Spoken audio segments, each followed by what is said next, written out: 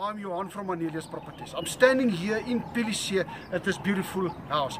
Three bedrooms with a lapa, with a swimming pool and the extra a granny flat, a one bedroom granny flat.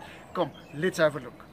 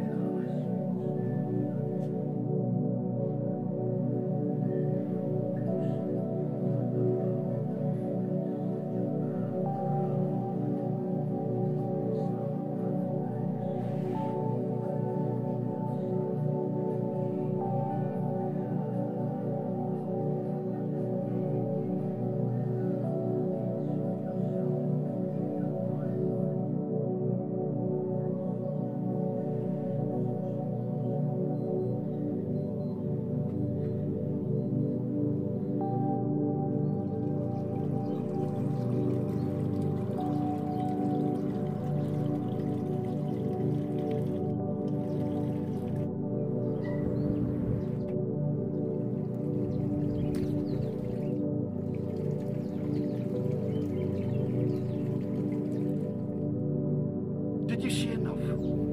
Buy yourself a new life. If you're not convinced yet, come, let us show you. Give us a call